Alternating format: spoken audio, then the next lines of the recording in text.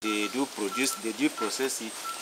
We we do buy some pre-sprouted uh, seedling there to come and raise. We raise it about a year and then we sell it to uh, farmers. Uh, it is if if you go to the market, you see palm oil. So palm oil is got from this uh, uh, palm uh, seed. From We raise seed. it, yes.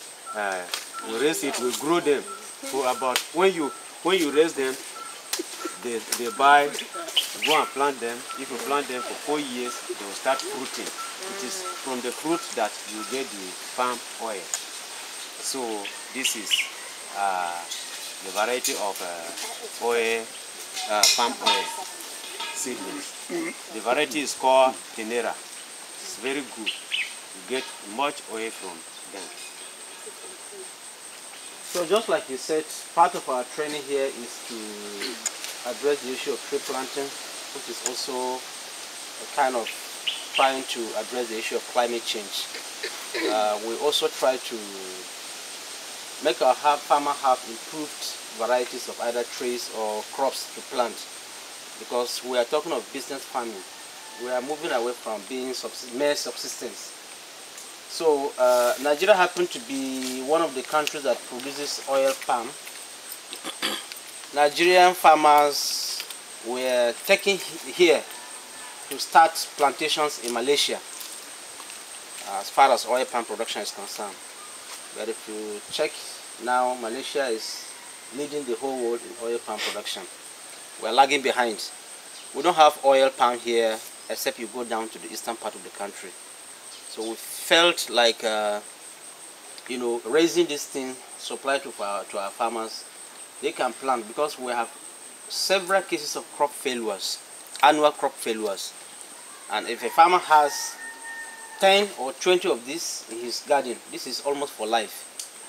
He will be getting his oil palm, saving some money he will have used to buy oil palm from the market. So it's, it's part of what we are doing all our trainees here who stay here for two years, they go away with it and then we sell also to other farmers who uh, might need. This is the improved variety that is produced by Nigeria Institute for Oil Palm Research in Benin. They are the ones supplying mostly West African countries. So it's a research institute that developed. However, you still find fake uh, local ones in the market. People raise. Very confusing.